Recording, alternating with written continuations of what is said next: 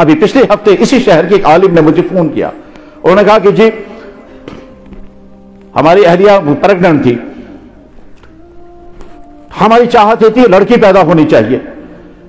जब बच्चा पैदा हो, लड़, चाहत थी लड़की पैदा होनी चाहिए और अल्लाह का फजल लड़की ही आ गई।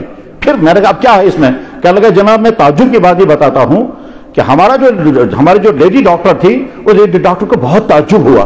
वो कहती थी कि कई मरतबा के अल्ट्रासाउंड ने दिखा दिया था कि लड़का है। और मैं आपसे कहना नहीं चाहती थी पर ये लड़की कैसे आ गई? इसी शहर काली में मौजूद है शहर में, आप इस वक्त जुमा पढ़ा रहे होंगे वो कहीं। तो गरज ये कि ये इंसानी तजर्बाते कभी सही हो जाते हैं, कभी गलत हो जाते हैं। महकमे मौसमियात ने ऐलान कर दिया, बारिश हो गई तो थोड़े उन्होंने बारिश उतारी है। बारिश तो अल्लाह के फैसले से आएगी। ठीक, इसी तरह से डॉक्टर ने कहा, आप ठीक हो जाएँगे और हम ठीक हो गए तो थोड़े उसके कहने से ठीक हो गए वो तो अल्लाह के फैसले से, दवाई के ज़रिए से ठीक हो गए। खुदा न खास्ता, खुदा न खास्ता, हमारा बीमार मर गया और डॉक्टर के कहने के मुताबिक तीन महीने के अंदर अंदर मर गया। मुझे याद है कि हमारे वारिद बीमार हो गए। इसी शहर में एक बड़े माहिर, दीनदार डॉक्टर ने मुझसे कहा कि, मुफ्ती साहब, आप आज तक कहाँ थे? मैंने कहा, क्यों?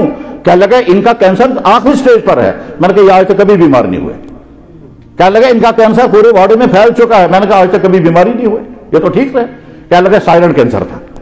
बल्कि अब क्या हुक्म है? क्या लगे, बस अब खिदमत करो तीन चार महीने तक ये ज़िंदा है, बाकी अल्लाह का फैसला है।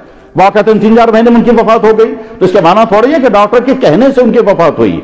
डॉक्टर का कहना और चीज़ है, और बीमारी सबब बनना और अल्लाह का फैसला और चीज़ है।